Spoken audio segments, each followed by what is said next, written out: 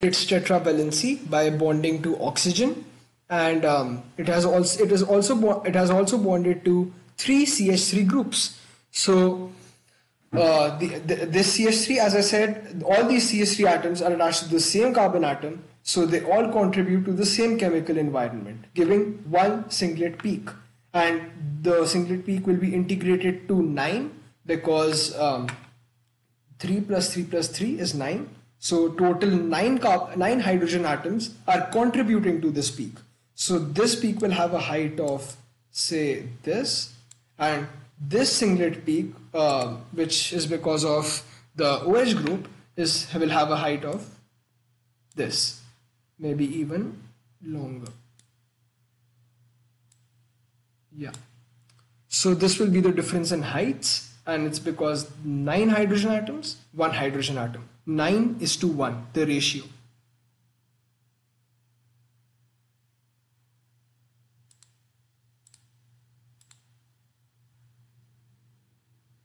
Okay, so here we have the benzene ring. So um, when you look at this molecule, what do you see? You see six hydrogen atoms, all attached to different carbon atoms, one hydrogen attached to one carbon each. So how many peaks do you think this will contribute to?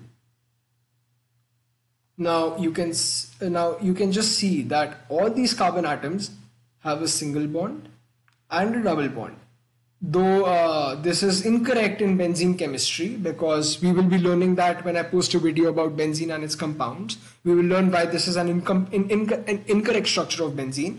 But for the time being, let's assume this is correct and uh, let's see what, what the number of peaks will be. So if you notice, each carbon atom has a single bond attached to another carbon atom and a double bond attached to other car uh, carbon atom. So here the single bond is here and double bond is here. Here the single bond is here and double bond is here and you can see this pattern repeats until we complete the cycle. So technically all these carbon atoms are the same chemical environment. So all these hydrogen atoms have the same chemical environment. All these hydrogen atoms have the same chemical environment because these all these carbons are technically the same. So we will have another again we will have one singlet. You can see the chemical shift in the data booklet for the benzene molecule. It will be there.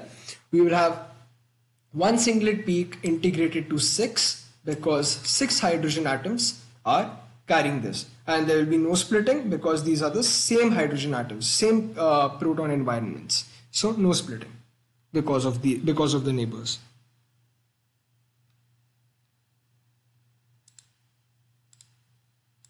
a few more examples and then we'll move forward. Okay, so here we have the same benzene ring, but we have replaced an H atom with an OH group. So this molecule is called phenol and uh, we can so we can just uh, sideline this peak because we know the, that uh, this will uh, result in one singlet peak. So this can be our first one and uh, this will give us a singlet peak like this. Now the thing is that you might say that all these carbon atoms are still the same, so the chemical environments will still be the same. So these five hydrogen atoms will contribute to the same proton environment. Well, that's wrong. Now, let me tell you why.